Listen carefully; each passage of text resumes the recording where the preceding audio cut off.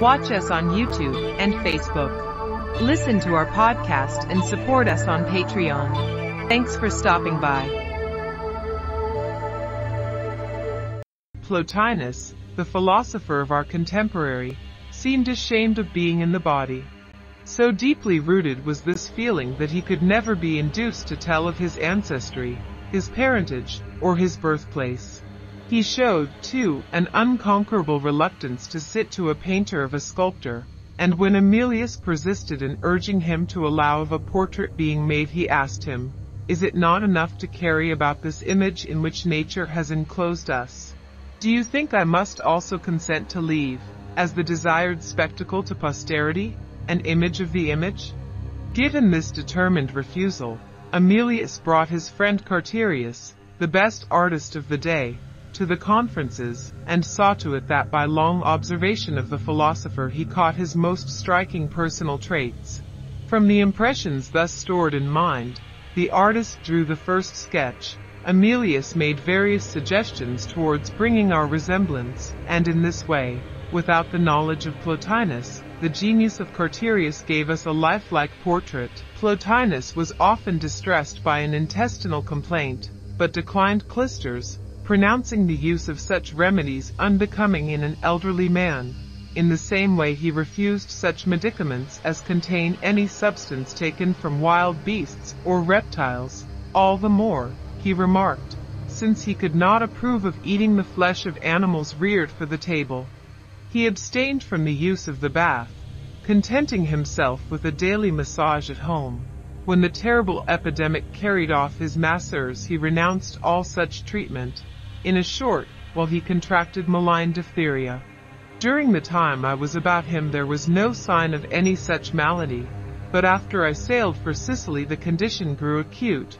His intimate, Eustochius, who was with him till his death, told me, on my return to Rome, that he became hoarse so that his voice quite lost its clear and sonorous note. His sight grew dim and ulcers formed on his hands and feet. As he still insisted on addressing everyone by word of mouth, his condition prompted his friends to withdraw from his society. He, therefore, left Rome for Campania, retiring to a property that had belonged to Zethus, an old friend of his at this time dead. His wants were provided in part out of Zethus' estate, and for the rest were furnished for Minturni, where Castricius' property lay. Of Plotinus' last moments Eustochius has given me an account. He was staying at Puteoli, and was late in arriving. When he at last came, Plotinus said, I have been a long time waiting for you. I am striving to give back the divine in myself to the divine in the all. As he spoke a snake crept under the bed on which he lay, and slipped away into a hole in the wall. At the same moment, Plotinus died. This was at the end of the second year of the reign of Claudius, AD 270 and, as Eustochius tells me, Plotinus was then 66, I was at Lilybaeum at the time, Emilius at Apamea in Syria, Castricius at Rome. Only Eustochius was by his side. Counting 66 years back from the second year of Claudius, we can fix Plotinus' birth at the 13th year of Severus, AD 204 5, but he never disclosed the month or day. This was because he did not desire any birthday sacrifice or feast, yet he sacrificed on the traditional birthdays of Plato and Socrates, afterward giving a banquet at which every member of the circle who was able was expected to deliver an address. Despite his general reluctance to talk of his own life, some few details he did often relate to us in the course of conversation. Thus he told how, at the age of eight, when he was already going to school, he still clung about his nurse and loved to bear her breasts and take suck. One day he was told he was a perverted imp and so was shamed out of the trick. At 27 he was caught by the passion for philosophy. He was directed to the most highly reputed professors to be found at Alexandria, but he used to come from their lectures saddened and discouraged. A friend to whom he opened his heart divined his temperamental craving and suggested Ammonius, whom he had not yet tried. Plotinus went, heard a lecture, and exclaimed to his comrade, This was the man I was looking for. From that day he followed Ammonius continuously, and under his guidance made such progress in the philosophy that he became eager to investigate the Persian methods and the system adopted among the Indians. It happened that the Emperor Gordian was at that time preparing his campaign against Persia. Plotinus joined the army and went on the expedition.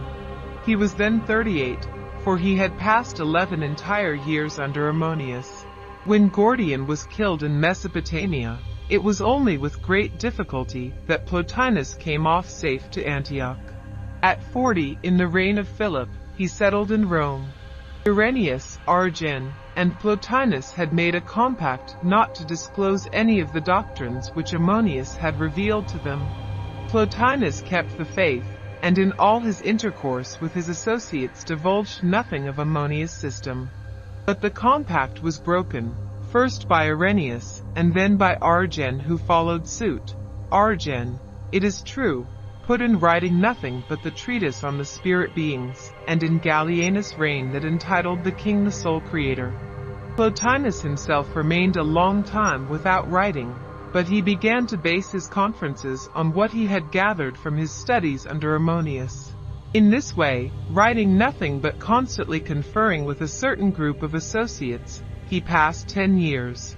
He used to encourage his hearers to put questions, liberty which, as Emilius told me, led to a great deal of wandering and futile talk. Emilius had entered the circle in the third year of Philip's reign, the third, too, of Plotinus' residence in Rome, and remained about him until the first year of Claudius, 24 years in all. He had come to Plotinus after an efficient training under Lysimachus. In laborious diligence, he surpassed all his contemporaries. For example, he transcribed and arranged nearly all the works of Numenius, and was not far from having most of them off by heart. He also took notes of the conferences, and wrote them out in something like a hundred treatises, which he has since presented to Hostilianus Hesychius of Apamea, his adopted son. I arrived from Greece in the tenth year of Gallienus' reign, accompanied by Antonius of Rhodes, and found Emilius an eighteen years associate of Plotinus, but still lacking the courage to write anything except for the notebooks, which had not reached their century. Plotinus, in this tenth year of Gallienus, was about 59. When I first met him I was 30. From the first year of Gallienus Plotinus had begun to write upon such subjects as had arisen at the conferences. When I first came to know him in this tenth year of the reign he had composed 21 treatises. They were, as I was able to establish, by no means given about freely. The distribution was still grudging and secret. Those that obtained them had passed the strictest scrutiny. Plotinus had given no titles to these treatises. Everybody headed them for himself. I cite them here under the titles, which finally prevailed, quoting the first words of each to facilitate identification. I had been, it is true, in Rome a little before this tenth year of Gallienus, but at that time Plotinus was taking a summer holiday, engaging merely in conversation with his friends. After coming to know him I passed six years in close relation with him. Many questions were threshed out in the conferences of those six years and, under persuasion from Emilius and myself, he composed two treatises to establish that the authentic existent is universally an integral, self-identical unity. In immediate succession to these, he composed two more. One is entitled, That there is no intellectual act in the principle which transcends the authentic existent, on the nature that has the intellectual act primally, and that which has it secondarily. The other, 25, on potentiality and actuality, according to the time of writing early manhood, vigorous prime, worn out constitution so the tractates vary in power. The first 21 pieces manifest a slighter capacity, the talent being not yet matured to the fullness of nervous strength. The 24 produced in the mid-period display the utmost reach of the powers, and except for the short treatises among them, attain the highest perfection. The last nine were written when the mental strength was already waning, and of these, the last four show less vigor even than the five preceding. Plotinus had a large following. Notable among the more zealous students, really devoted to philosophy, was Emilius of Tuscany, whose family name was Gentilianus. Emilius preferred to call himself Amirius, changing L for R, because, as he explained, it suited him better to be named from Amriae, unification, than from Amelia, indifference. The group included also one Paulinus, a doctor of Scythopolis, whom Emilius used to call Micalos in allusion to his blundering habit of mind. Among closer personal friends was Eustochius of Alexandria, also a doctor, who came to know Plotinus towards the end of his life, and attended him until his death. Eustochius consecrated himself exclusively to Plotinus' system, and became a veritable philosopher.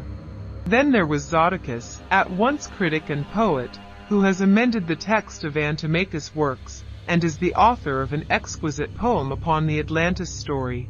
His sight failed, and he died a little before Plotinus, as also did Paulinus. Another friend was Zethus, an Arabian by descent, who married a daughter of Ammonius' friend Theodosius. Zethus, too, was a doctor. Plotinus was deeply attached to him, and was always trying to divert him from the political career in which he stood high. Plotinus was on the most familiar terms with him, and used to stay with him at his country place, six miles from Minturni, a property which had formerly belonged to Castricius Firmus. Castricius was excelled by none of the group in appreciation of the finer side of life. He venerated Plotinus, he devoted himself in the most faithful comradeship to Emilius in every need, and was in all matters as loyal to myself as though I were his brother. This was another example of a politician venerating the philosopher. There were also among Plotinus' hearers, not a few members of the Senate, amongst whom Marcellus Orontius and Sabinillus showed the greatest assiduity in philosophical studies. Another senator, Rogatianus, advanced to such detachment from political ambitions that he gave up all his property, dismissed all his slaves, renounced every dignity, and, on the point of taking up his praetorship, the lictors already at the door, refused to come out or to have anything to do with the office. He even abandoned his own house, spending his time here and there at these friends and acquaintances, sleeping and eating with them and taking, at that, only one meal every other day. He had been a victim of gout, carried in a chair, but this new regime of abstinence and abnegation restored his health. He had been unable to stretch out his hands. He came to use them as freely as men living by manual labor.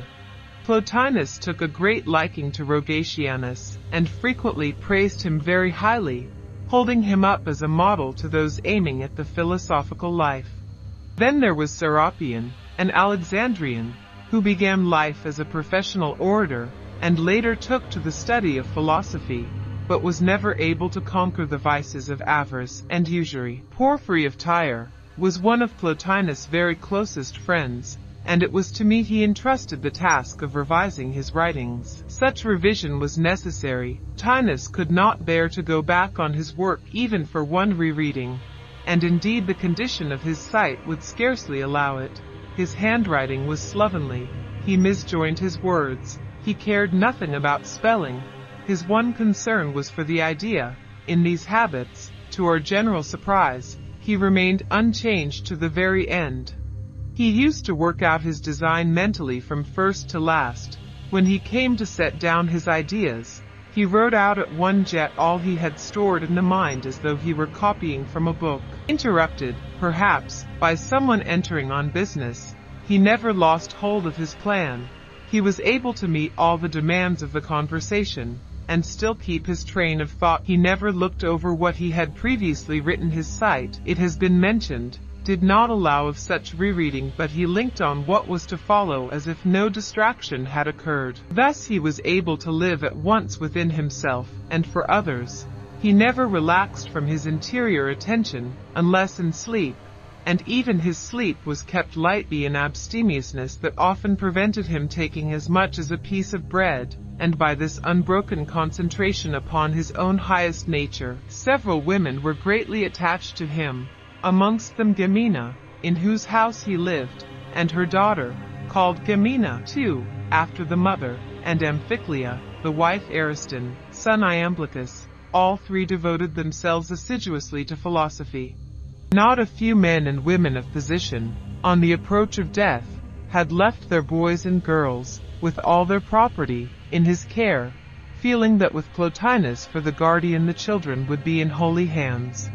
His house, therefore, was filled with lads lasses, amongst them Potamon, in whose education he took such interest as often to hear the boy recite verses of his composition. He always found time for those that came to submit returns of the children's property, and he looked closer to the accuracy of the accounts, until the young people take to philosophy. He used to say, their fortunes and revenues must be kept intact for them. And yet all this labor and thought over the worldly interests of so many people never interrupted, during waking hours, his intention towards the Supreme. He was gentle, and always at the call of those having the slightest acquaintance with him. After spending 26 years in Rome, acting, too, as arbiter in many differences, he had never made an enemy of any citizen. Among those making a profession of philosophy at Rome was one Olympus, an Alexandrian, who had been for a little while a pupil of Ammonius. This man's jealous envy showed itself in continual insolence, and finally, he grew so bitter that he even ventured sorcery, seeking to crush Plotinus by star spells.